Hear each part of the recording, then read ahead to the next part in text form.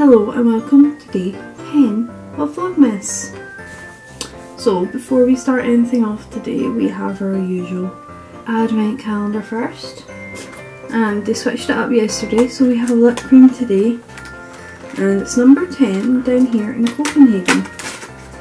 So that's been ripped, oh well. And it's dark again. It's dark. It's dark.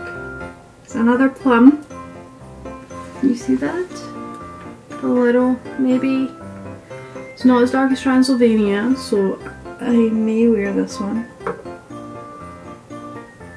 But I don't know. Hopefully the next ones are lighter again because I do prefer the lighter ones. But we will have to wait and see. So today I've spent the day Netflixing is that even a verb? It is now. But I've been watching The Crown. I finished off the season today. Started it a few weeks ago, but I finished it today. And I'm going to give you my thoughts. I did have something else planned for today, but it's going to take a little bit more planning. So some of you know what it is. And when it's ready, you will know. So let's talk about the crown for now. I can see now why the Queen wants this to be cancelled.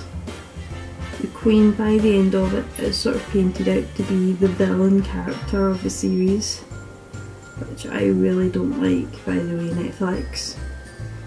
Prince Philip is painted to be the party boy, always coming in drunk, not really being supportive or anything like that and Princess Margaret is seen.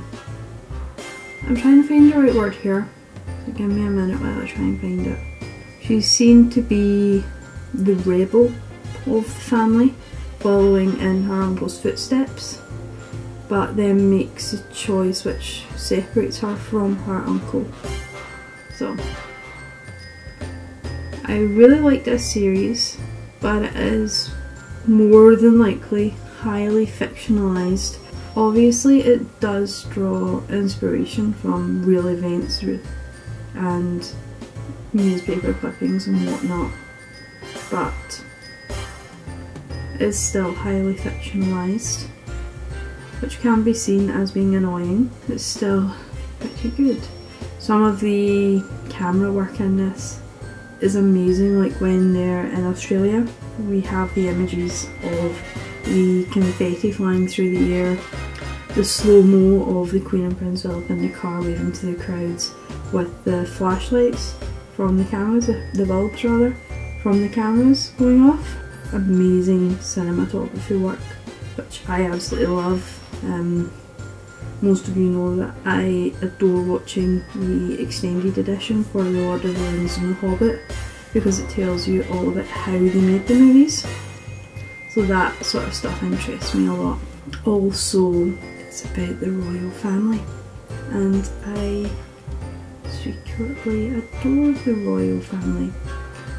Mostly it comes from being a big history geek, which everybody knows my degree is English and history, so I had to study the royal family quite a lot. I did study this time period quite a bit in third year of university so that was interesting getting to compare what I've learned with this show.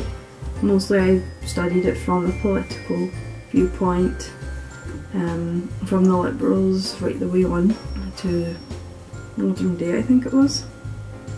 I know I definitely studied Margaret Thatcher. I can't remember how far on we got, but I really like this series. So I hope there's season 2 that's made. It's got Matt Smith in it and he's just an adorable little awkward giraffe. I still see him as Doctor Who even though he's in this. I still see Doctor Who which is kind of weird I suppose. But for me he's always going to be Doctor Who. So now all I need to do is find a new series to watch which is proving kind of hard I just spent about 20 minutes looking through trying to find something. I might watch a 100 but I know something that happens with Clexa I don't want to become emotionally attached to these characters because of that. So I just need to go and find something to watch now. Seeing as Once Upon a Time will be on its mid-season break and The Missing is... well I need to catch up on a few episodes so it's either over or just about to be over. So I'm running out of things to watch. So I need to find something new. I I know I still have Heartland and Big Bang Theory, but that's only two shows. So I need something else to watch. So if any of you have suggestions, comment down below. Give this video a big thumbs up if you liked The Crown and if you've watched it, tell me what your favourite part is as well in the comments below. And subscribe so that when this much anticipated video comes out that I was talking about earlier, so that when that is put up, you'll know when it is. And hopefully I'll be able to get that video off the ground in the next week. Because it's going to be something a little different from what I've done so far. Going to take a little bit of planning, but once it's ready, you'll know. So until tomorrow,